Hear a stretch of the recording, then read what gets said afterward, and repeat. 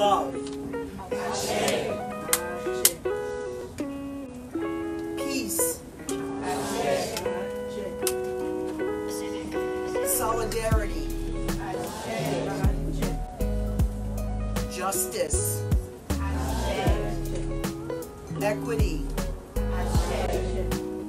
Family.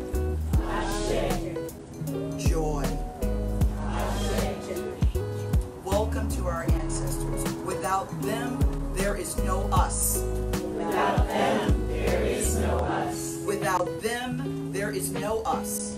Without them, there is no us. This is Carmen Ramos Kennedy. We're experiencing a worldwide health crisis.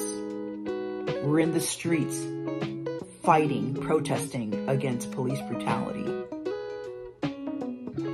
It's hard. These are really hard times. It's been very serious and troubling and traumatizing for many of us. In the midst of these storms, we at Beloved Asheville go right to the ground, creating circles of hope and love, putting compassion into action, delivering 50,000 pounds of food into neighborhoods impacted every week,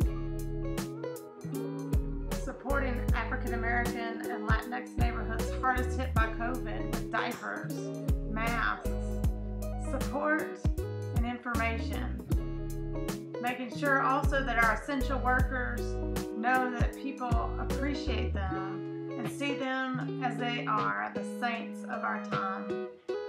We have been in neighborhoods hardest hit all over Buncombe County, delivering art supplies, making sure that our children know that they are cared for and have what they need to grow healthy and strong.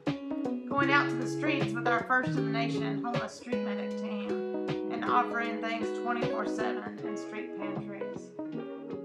We took to the streets to protest the racism pandemic, to center voices that often go unheard in our city, to stand up for policy change like reparations and policing alternatives that include social workers and mediators. And we do the work of racial healing through our Asheville Black social media channels, our local Black History cards where children learn proud of where they came from.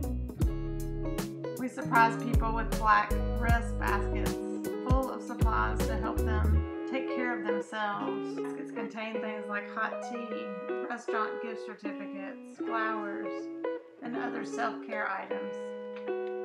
And we empower youth to be the now and the future, to create the kind of world that all of our children deserve.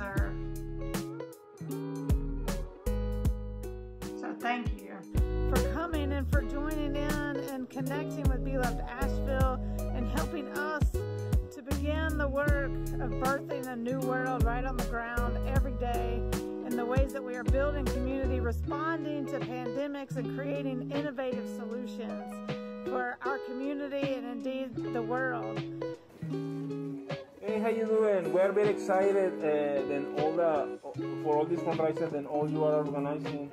We are here in one of the locations, uh, in one of the community distribution centers, doing the thing.